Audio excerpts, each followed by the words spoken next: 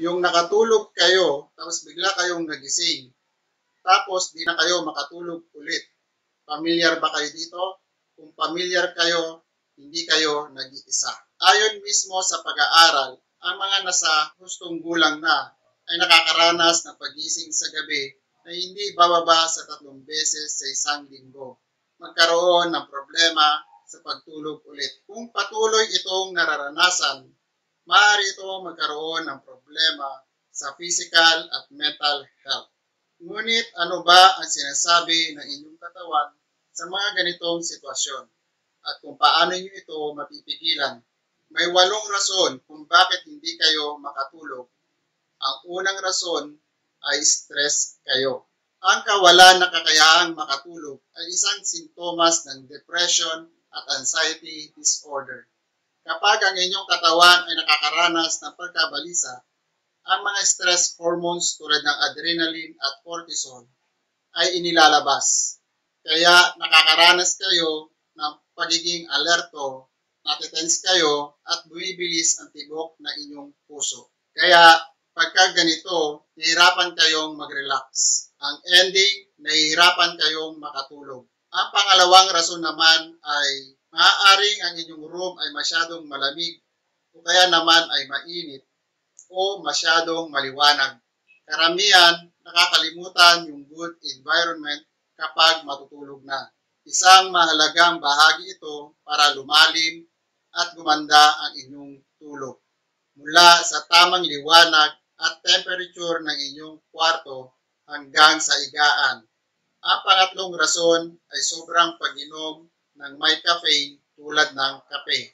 Maaaring kailangan nyong magkape sa hapon para hindi kayo antukin lalo na kung may trabaho pa kayo. Ngunit ito ay maaaring maging sagabal sa inyong pagtulog. Ang mga inuming may caffeine kasi ay nanatili pa rin sa ating katawan ng humigit kumulang na limang oras. Halimbawa, uminom kayo ng kape ng alas 5 ng hapon. Yung kalating amount ng kape ay nasa dugo nyo pa rin hanggang alas 10 ng gabi. Kaya hirap kayong makatulog sa gabi. Hanggat maaari, bawasan ang inyong paggamit ng caffeine lalo na sa hapon. Ang pang-apat na rason ay nag-aalala na magkaroon ng sapat na tulog. Minsan, nagigising kayo sa hating gabi, tapos tinitingnan ninyo yung oras kung ilan na lang ba ang natitirang oras bago mag-umaga at ilang oras na lang ba ang pwede ninyong itulog. Iwasan tignan ang oras dahil nagpapahirap lamang ito sa inyong pagtulog.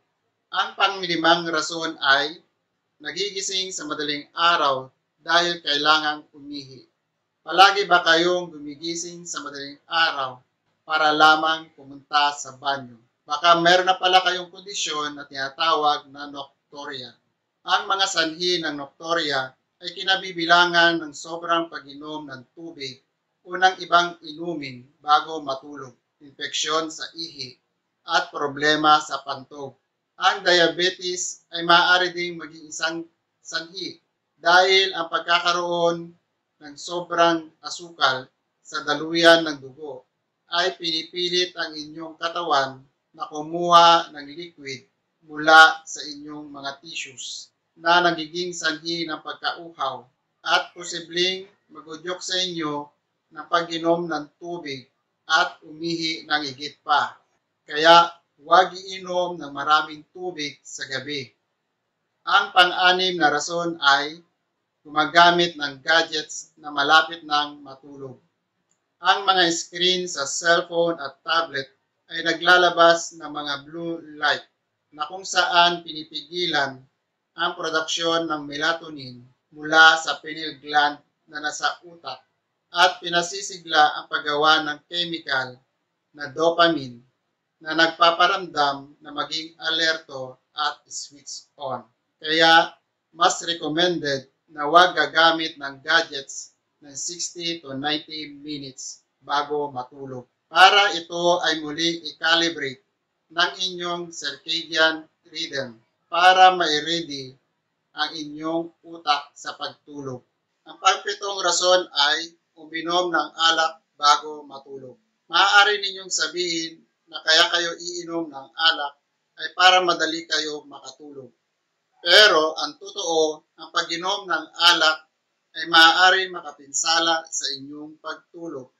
Ayon sa pag-aaral, ang pag-inom ng mas mataas na doses ng alak ay nababawasan ang dami ng REM sleep o yung rapid eye movement at ang resulta nito ay mas mababaw na tulog. Mayroon ding negatibong epekto ito sa bahagi ng utak na karaniwang kumukontrol sa katawan habang natutulog. At ang pangwalong rason ay gustong humiga ng maghapon. Aminin natin na gusto nating humiga maghapon, lalo na kung wala namang pasok o kaya weekends naman at walang ginagawa sa araw na yon. Mas makakabuti na pareho ang oras at kung saan kayo matutulog at gumising araw-araw. Ang ganitong tamang routine ay magbibigay daan sa inyong katawan na magtakda ng oras at magbibigay daan sa inyong tulog ng mas mabilis at maiwasan ang paggising. Kung nagkakaroon kayo ng ganitong problema sa pagtulog o paggising na nakakaranas ng pagod, gaano man ito karaming tulog, mas mainam na mabawasan ang mga nakasanayan nyo na. Kung sa tingin nyo na ang mental health issues nyo ay nakakapekto sa inyong pagtulog, kumonsulta agad sa inyong doktor para mabigyan kayo ng tamang treatment plan na naaayon sa inyong condition. Kung may natutunan po kayo ngayon, pakishare po itong health tips sa iba. Ako pong muli si Doc Roland. Marami pong salamat. Ingat po palagi.